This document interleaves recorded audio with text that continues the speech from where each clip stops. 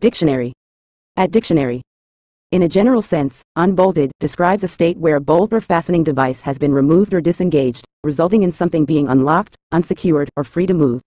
It signifies the absence of a barrier or restriction that was previously held in place by a bolt or similar mechanism. For example, an unbolted door is no longer locked and can be easily opened, while unbolted machinery allows for access to its components for maintenance or repairs.